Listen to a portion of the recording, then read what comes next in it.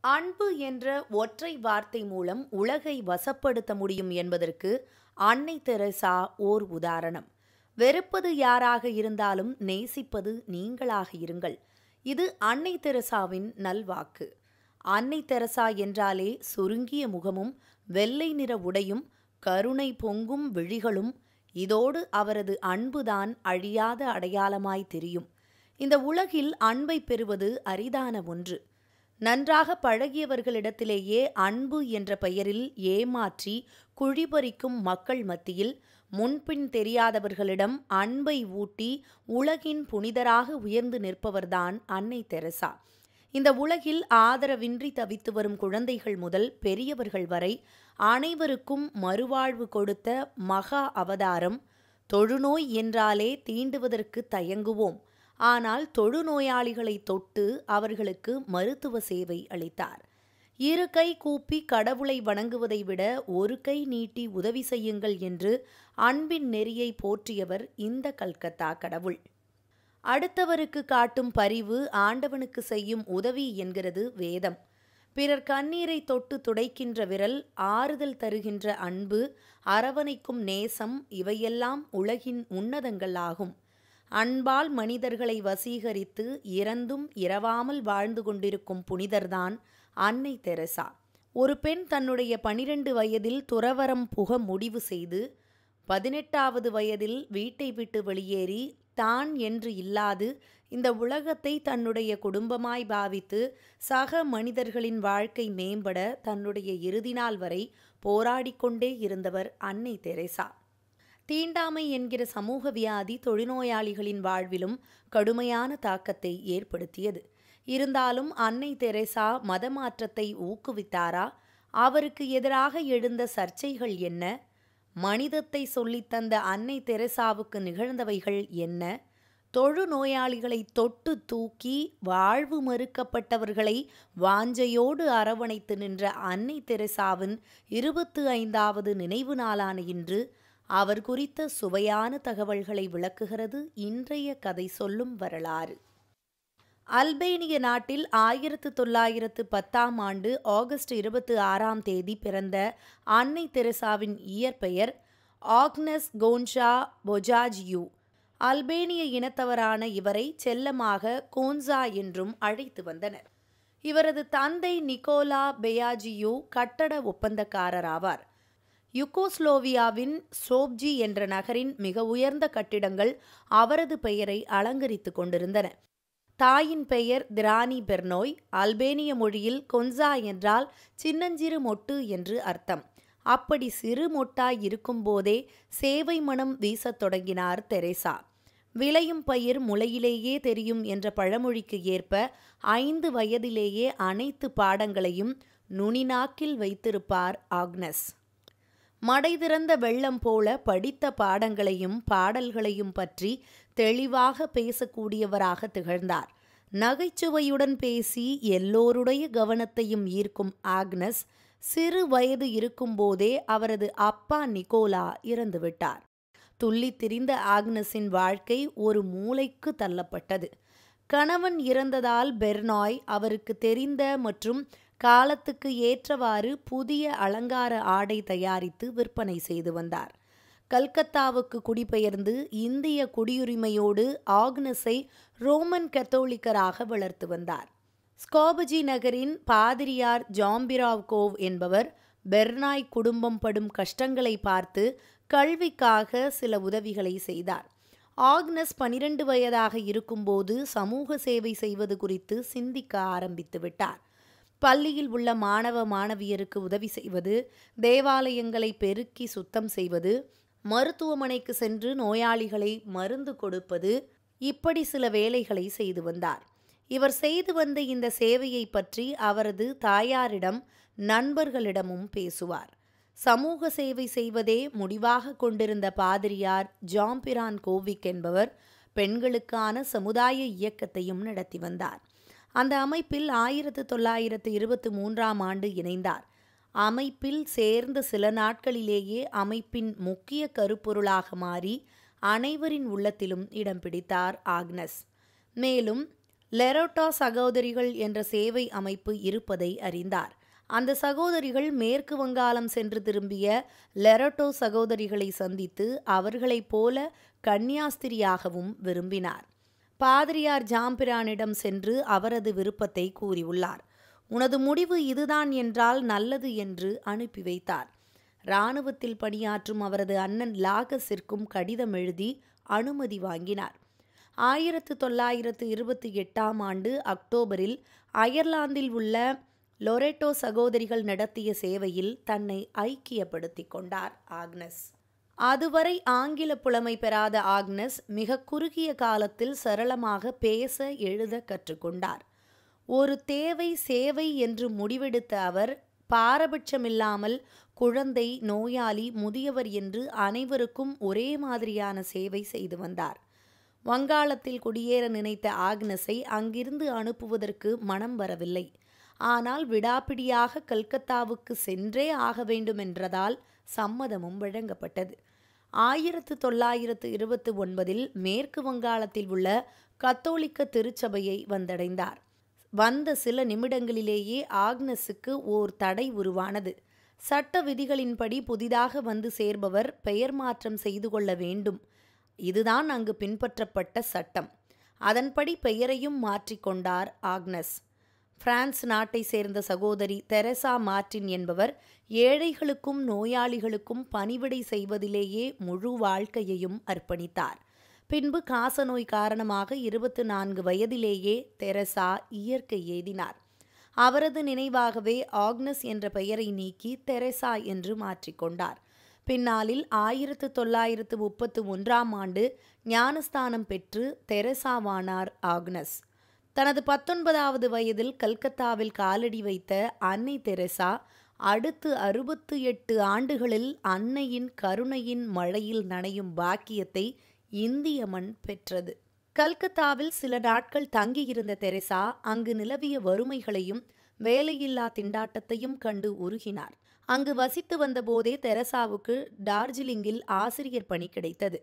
டார்ஜிலிங்கிற்கு பறந்த தெரசா உற்சாகம் கொப்பளிக்க மாணவர்களுக்கு பாடம் சொல்லிக் கொடுத்தார். குழந்தைகளிடம் அன்பாகவும் பாசமாகவும் பேசி வந்த தெரசாவுக்கு திடீரென்று மனதில் ஒன்று தோன்றியது. இந்தியாதான் என் தாய்நாடு என் வாழ்க்கையையும் எதிர்காலம் முற்றிலுமே இந்தியாவில்தான் கழிய வேண்டுமென்று முடிவெடுத்து மீண்டும் கல்கத்தாவுக்கே மாற்றம் செய்யப்பட்டார். அங்கு கல்வியோடு சமூக சேவையும் செய்ய வேண்டியதாயிற்று. குழந்தைகளுக்கு கல்வி வழங்குவதோடு மட்டுமல்லாமல் அவர்களை குளிப்பாட்டுவதும் பராமரிப்பும் செய்து வந்தார். பொது இடங்களில் குப்பை கூலங்கள் சேர்ந்தால் அவற்றை சுத்தம் செய்வதை கௌரவ குறைச்சலாக எண்ணாமல் மனமுவந்து செய்தார் தெரேசா. பள்ளியில் கல்வி குடிசை மக்களுக்கு சேவை என்று பணியை செவ்வனே செய்து கொண்டிருந்த தெரசா குறுகிய காலத்தில் பள்ளி முதல்வராக மாறினார். தன் மானசீக குருவான பாதிரியார் ஜெலஸ்டி வான் எக்ஸேம் அருளாசியோடு அந்த பள்ளியிலேயே பணியாற்றினார். ஆயிரத்து தொள்ளாயிரத்து நாற்பதுகளில் இந்தியாவிலும் பிற நாடுகளிலும் பல சம்பவங்கள் நடந்து வந்தன. இரண்டாம் உலகப் போர் ஒரு பக்கம் மக்களை வாட்டி வதைக்கும் பஞ்சம் ஒரு பக்கம் இந்தியாவுக்குள் சுதந்திர போராட்டத்தின் உச்சம் இன்னொரு பக்கம் இந்தியாவிலிருந்து பாகிஸ்தானை பிரிக்க வேண்டும் என்ற கோரிக்கையை வைக்கும் கூட்டம் என்று திரும்பும் பக்கமெல்லாம் மனிதம் வீழ்ந்து கிடந்தது. பேராசையில் நடந்த உலகப் போரை விட உரிமைக்காக நடந்த சுதந்திர போரை விட பசியால் மக்களை சாக வைக்கும் வறுமை போர்தான் முதலில் நிறுத்தப்பட வேண்டியதாக இருந்தது.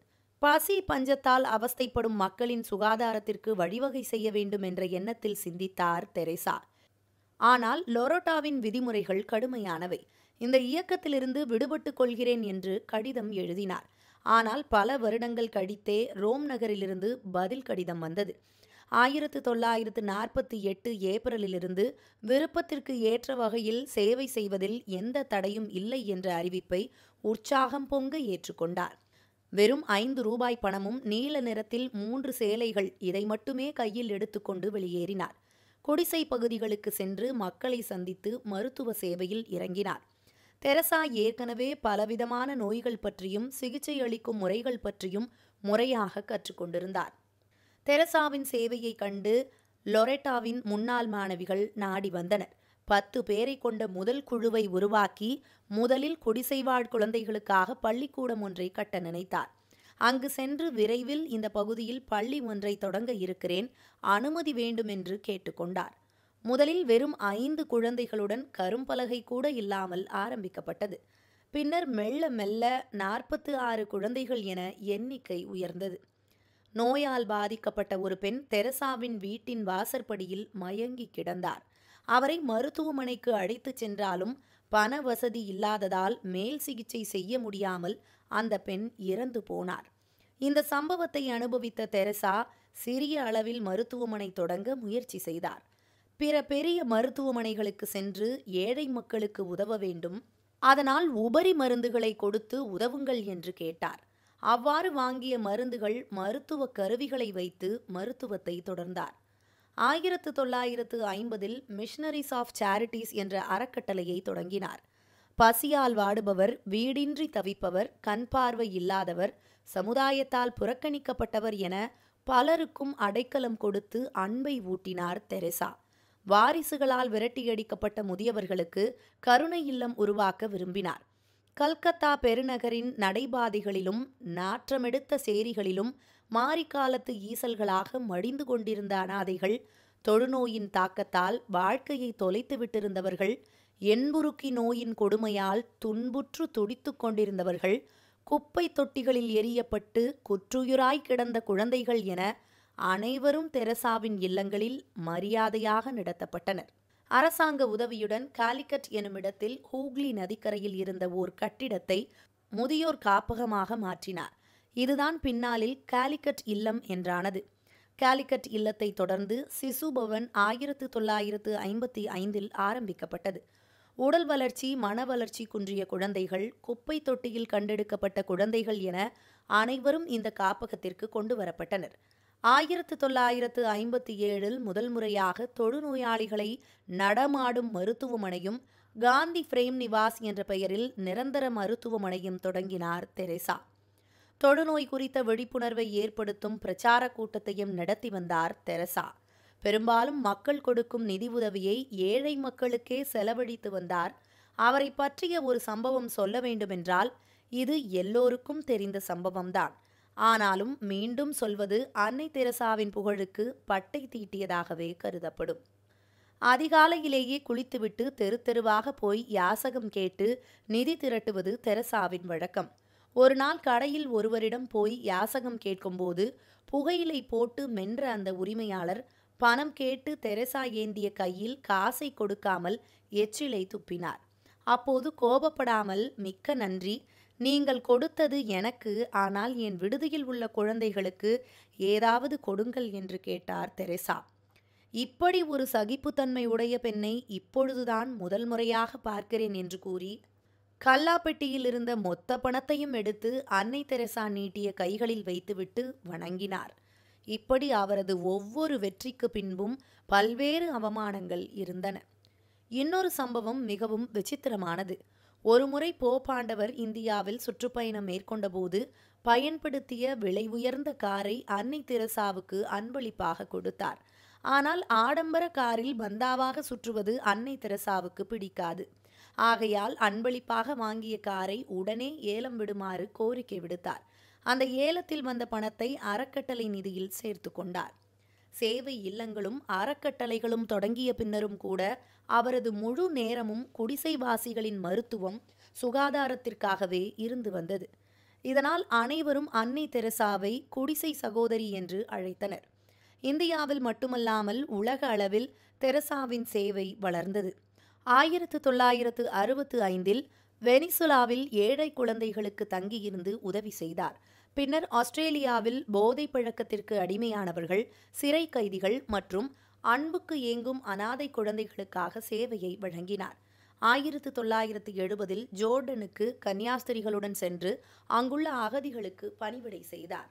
லண்டனில் சாலையோரத்தில் மிகவும் மோசமான நிலையில் பிழைப்பு நடத்துபவர்களை சந்தித்து உதவிக்கரம் நீட்டினார். ஆயிரத்து தொள்ளாயிரத்து எழுபத்து ஒன்றில் மேற்கு பாகிஸ்தானில் நடந்த போரினால் பலரும் பாதிக்கப்பட்டனர். அங்கு சென்ற தெரேசா ஆதரவற்ற பெண்களுக்கு சிறு தொழில்களை கற்றுக் கொடுத்து ஏற்பாடு செய்தார். ஆயிரத்து தொள்ளாயிரத்து எழுபத்து மூன்றில் வறட்சியால் பாதிக்கப்பட்ட எத்தியோப்பிய மக்களுக்கு ஆதரவு அளித்தார். ஆயிரத்து தொள்ளாயிரத்து எழுபத்தி எட்டில் அவரது சொந்த ஊரான ஸ்காப்ஜிக்கு யுகோஸ்லேவியாவின் அழைப்பின் பேரில் சென்றார்.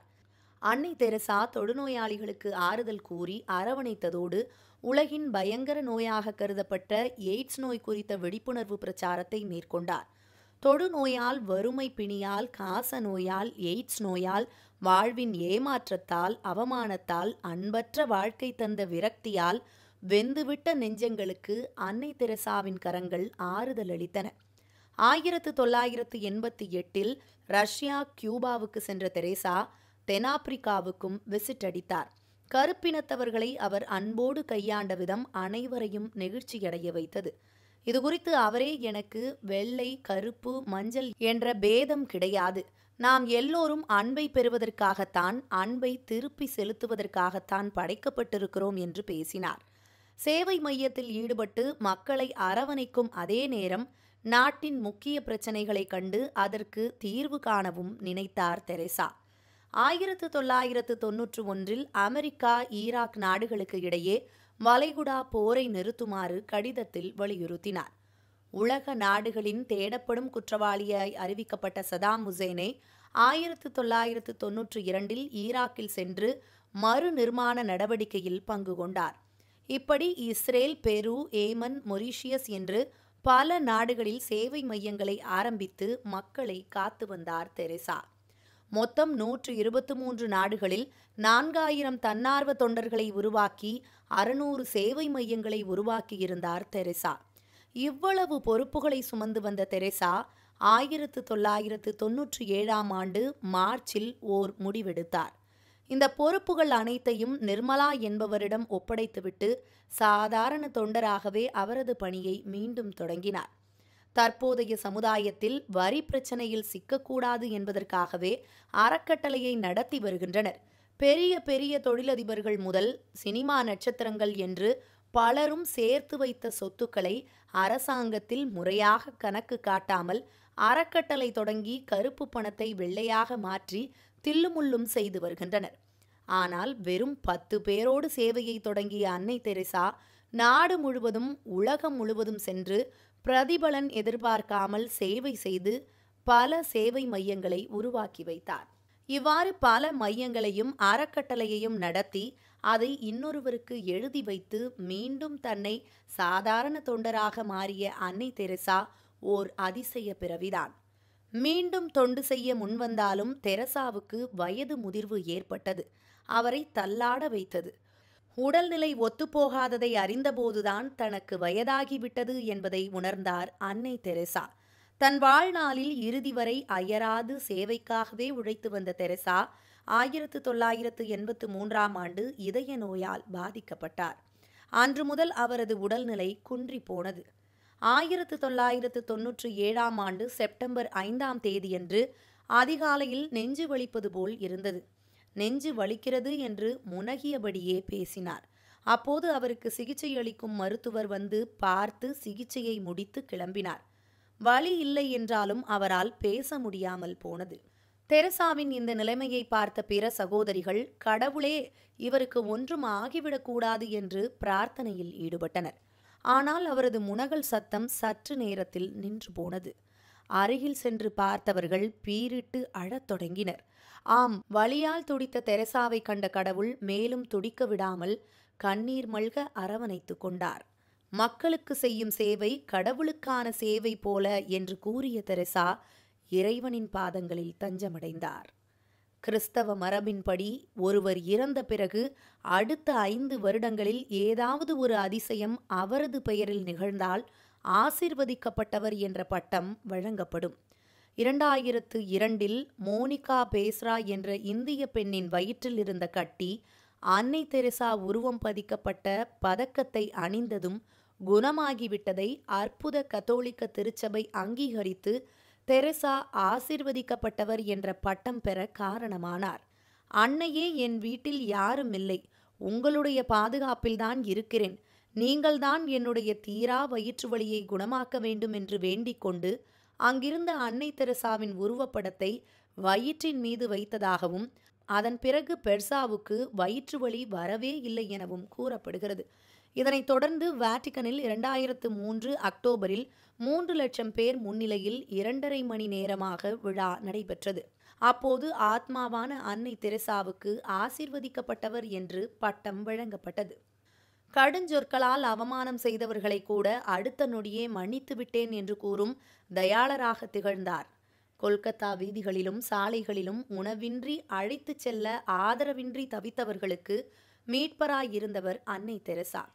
அன்னை தெரசா கூறிய பொன்மொழிகளில் மிகவும் பிரபலமானது உதவும் கரங்கள் பிரார்த்திக்கும் உதடுகளை விடச் சிறந்தது என்பதாகும். தனது பணிக்கு விளம்பரம் தேடாத அன்னை தெரசாவை நோக்கி விருதுகளும் பட்டங்களும் படையெடுத்தன. ஆயிரத்து தொள்ளாயிரத்து அறுபத்து இரண்டாம் ஆண்டு பொது சேவைக்கான இந்திய அரசின் பத்மஸ்ரீ விருது அன்னை தெரசாவுக்கு வழங்கப்பட்டது. அது மட்டுமின்றி ஆயிரத்து தொள்ளாயிரத்து எழுபத்து ஒன்பது அமைதிக்கான நொபேல் பரிசும் அவருக்கு வழங்கப்பட்டது. அவரின் இடைவிடாத சமூக தொண்டை கௌரவிக்கும் விதமாக ஆயிரத்து தொள்ளாயிரத்து எண்பதாம் ஆண்டு இந்தியாவின் உயர்ந்த விருதான பாரத ரத்னா விருதும் ஆயிரத்து தொள்ளாயிரத்து எண்பத்து மூன்றாம் ஆண்டில் பிரிட்டிஷ் மகாராணி இரண்டாம் எலிசபெத் மகாராணியை கௌரவிக்க விருதும் அன்னை தெரசாவை தேடி வந்தன. ஆயிரத்து தொள்ளாயிரத்து தொன்னூற்றி ஏழாம் ஆண்டு முன்னாள் அமெரிக்க ஜனாதிபதி பில் கிளின்டன் அமெரிக்காவின் கௌரவ பிரஜை உரிமைக்கான அந்தஸ்தை வழங்கி அன்னை தெரசாவை கௌரவித்தார். பல்வேறு நபர்கள் அரசுகள் மற்றும் அமைப்புகள் என பலர் இவரை புகழ்ந்து வந்தாலும் பலவிதமான விமர்சனங்களையும் இவர் சந்தித்தார். இத்தகைய விமர்சனங்கள் Christopher Hitchens Michael Parenti Aroup Chatterjee போன்ற நபர்களாலும் விஸ்வ ஹிந்து பரிஷத் போன்ற அமைப்புகளாலும் சாடப்பட்டது. இவர்கள் அன்னை தெரசாவின் உறுதியான கருக்கலைப்பு எதிர்ப்பு நிலையையும் ஏழ்மை தரும் ஆன்மீக மேன்மையின் மீது அவர் கொண்டிருந்த நம்பிக்கையையும் இறப்பின் வாயில் இருப்போருக்கு அவர் ஞானஸ்தானம் அளிக்கிறார் எனவும் குற்றம் சாட்டினர். சில செய்தி ஊடகங்கள் அவரது நல்வாழ்வு மையங்களின் மருத்துவ வசதி தரத்தை பற்றி விமர்சிப்பதாகவும் நன்கொடை பணம் செலவு செய்யப்படுவதின் விதத்தை பற்றி கவலை எழுப்பியும் செய்திகள் வெளியிட்டன. பிழைப்புக்காக ஊரை ஏமாற்றி நிதி வசூல் செய்கிறார் என அபாண்ட குற்றச்சாட்டுகளும் விமர்சனங்களும் அன்னையை நோக்கி வைக்கப்பட்டன. மேலும் உடல்நிலை மோசமடைந்த பிறகு அவரது மருத்துவமனையில் சிகிச்சை பெறுவதை விடுத்து வெளிநாட்டுக்கு சென்று சிகிச்சை பெற்றார் என்றும் புகார் கூறினர். புறம் சொல்பவர்கள் சொல்லத்தான் செய்வார்கள். அன்பின் அடிநாதமாகவும் இருபதாம் நூற்றாண்டின் பேரதிசயமாகவும் திகழ்ந்த அன்னை தெரசா மறைந்த பொழுதும் அவரிடம் இருந்தது மூன்று சேலைகளும் ஒரு சிலுவையும் ஜெபமாலையும் மட்டுமே. ஆனால் அன்பை மட்டும் அமுத சுரபியாக அள்ளி அள்ளி வழங்கிவிட்டு சென்றிருக்கிறார். புறம் சொல்பவர்கள் ஒருவர் கூட அன்னை தெரசா செய்த தொண்டில் ஒன்றிரண்டு கூட அவர்களால் செய்ய முடியாது. பெற்ற தாய் தந்தையானாலும் நோயாளிகளாகிவிட்டால் பலரும் அருவறுத்து ஒதுக்கி விடுகின்றனர் இன்றைய காலகட்டங்களில். ஆனால் எந்த நோய் தாக்கியிருந்தாலும் அவர்களை அரவணைத்து அன்புடன் நடத்திய அன்னை தெரசா ஓர் அற்புத பிறவிதான் அதிசய பிறவிதான். அன்பு காதல் வீரம் கோபம் உள்ளிட்ட உணர்வுகளில் எந்த உணர்வு அதிகமாக ஆக்கிரமிக்கிறதோ அது மனிதனின் இயல்பான குணமாகி விடுகிறது. அன்பு குடிகொள்கின்ற இடத்தில் சொல்லிக்கொள்ளாமல் சுயநலம் வெளியேறிவிடுகிறது வணிகம் சார்ந்த இந்த உலகில் மனிதம் போற்றும் மகத்தான பிறப்பாக உருவெடுத்த அன்பின் உருவம்தான் அன்னை தெரசா. அன்னை தெரசா வானுலகம் சென்றாலும் அவரது சேவைகளின் மூலமாக அன்பின் வாயிலாக பரிவு இரக்கத்தின் வழியாக வாழ்ந்து கொண்டிருக்கிறார். என்றும் வாழ்ந்து கொண்டிருப்பார்.